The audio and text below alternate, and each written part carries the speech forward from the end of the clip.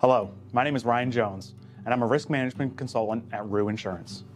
The reason I was attracted to Rue was the level of expertise and experience that we have supporting each and every department in the agency.